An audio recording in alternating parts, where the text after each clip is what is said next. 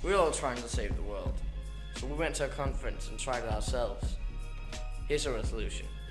Hi, my name is Guy Bodison, the delegate who introduced the UTR Pact along with my partner.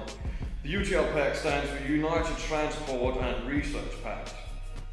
So the UTR protocol is all about using fossil fuels for as long as we can until we find a new, better, more efficient way of using renewable energy sources. But there's nothing really wrong with fossil fuels, is there?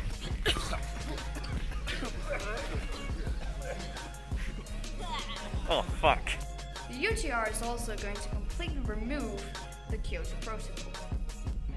What Kyoto Protocol? What Kyoto Protocol?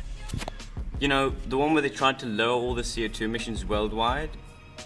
Okay, forget it. So in conclusion, we're fucked.